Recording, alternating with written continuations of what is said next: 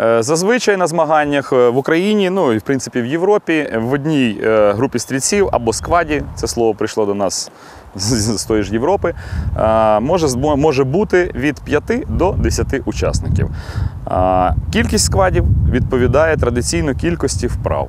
Тобто, якщо ми маємо, наприклад, 6 вправ на змаганнях, то і 60 учасників, то буде 6 сквадів по 10 учасників в кожному скваді. Ну, далі, відповідно, більше вправ чи менше учасників, е, кількість людей в скваді міняється.